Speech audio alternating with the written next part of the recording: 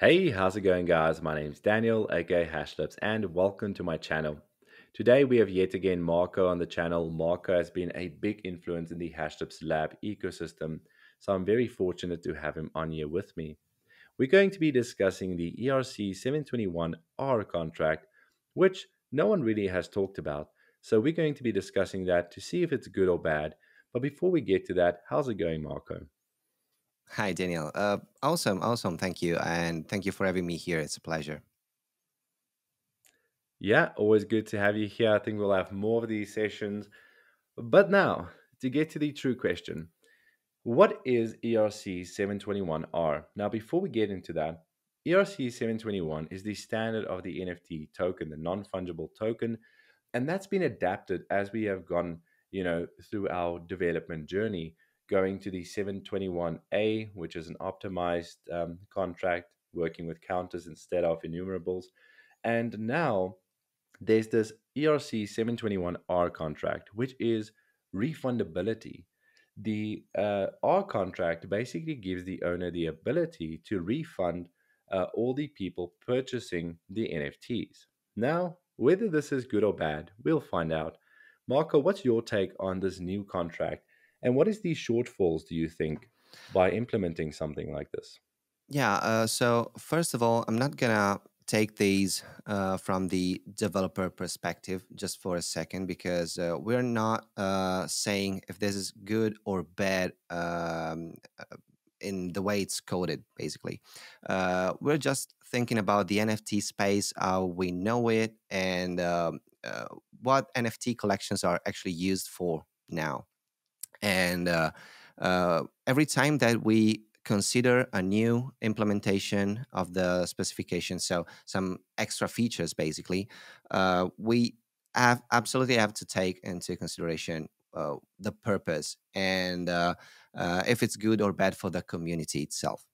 So, in my opinion, my personal opinion, um, a proper business that wants to run something successful with a and fund that with a collection, an NFT collection, um, might find it kind of hard to um, start up the, the project if they cannot rely on the funds that they are getting.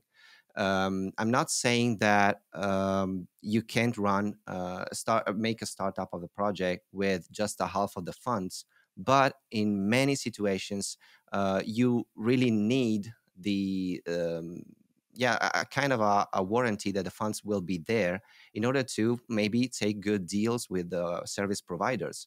Or uh, maybe you have to create some uh, real li- in real life uh, products and you have to uh, set up a production facility or stuff like that. And uh, things if you have a uh, small capital at your disposal that can be quite cost um, yeah quite pricey at that point. I don't know if you agree with that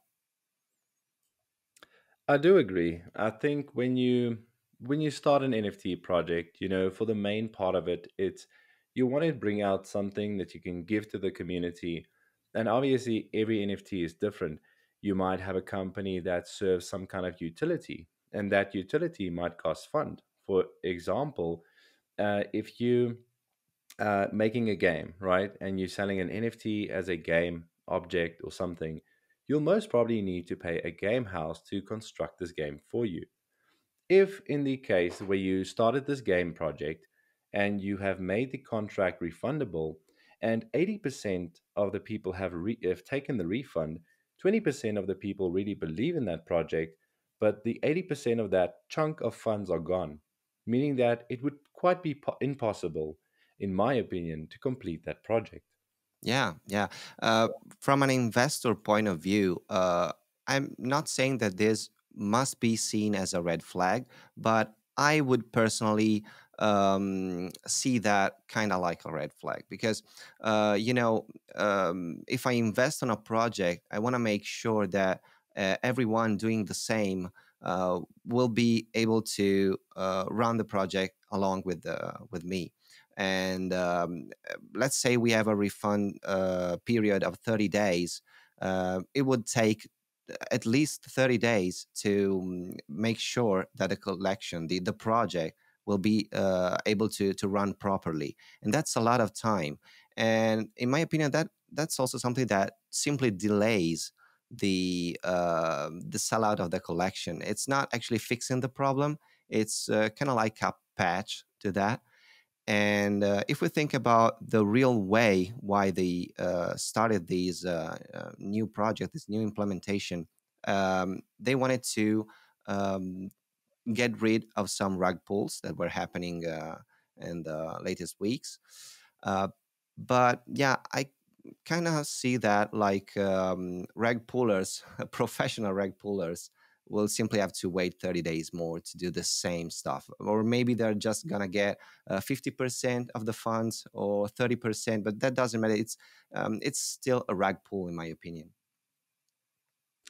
Yeah, absolutely. And it doesn't protect against that. You see, we're not talking about this from a developer standpoint. Development wise, I think it's beautiful. I think it's pretty cool that you can give back some funds after someone has minted the token. And how it works is the owner of that token then says, I want a refund. I'll send it back to the contract. The contract sends it maybe to the owner. But needless to say, the person gets a refund. And the owner can decide if it's a full refund or a partial refund.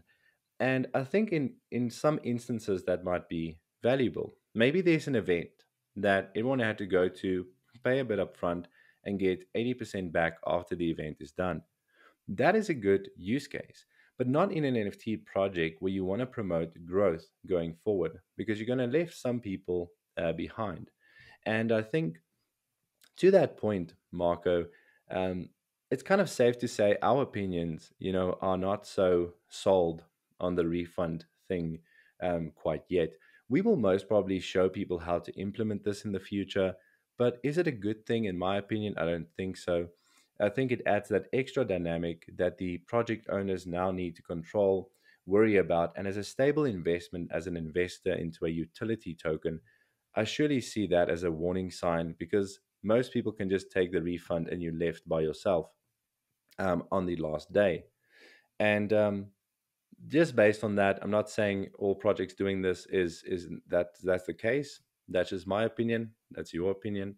We all can have opinions, so don't follow our advice, but this is the channel where we discuss it. But at the end of the day, Marco, it comes down to people doing due diligence and look at projects that they are going to invest in. If the project seems solid and you know the kind of developers or community behind the project, that's a good thing to know. And if they have a refund option, it's all maybe up to the dynamic of how they want to run their project. Any other words you have on that uh, subject? Oh, um, yeah, I 100% agree with, with what you said. And um, uh, to be honest, uh, I think that any feature can find its use cases. Uh, as you said, we're not saying this is bad um, yeah, uh, for every project.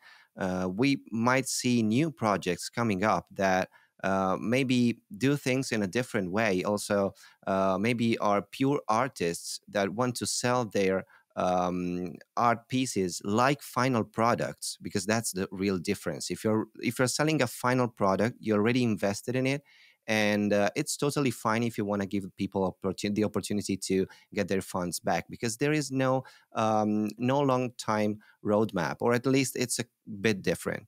Uh, so yeah, that's just our opinion on that, and I really hope that we will see some good use cases for this kind of, uh, of feature. Absolutely, man. I'm out of breath because in this little pause, I ran to go and get my groceries. So we're going to put it into this video right now. Marco, thank you so much for being on here. It was a pleasure, man. Me too. Thank you very much.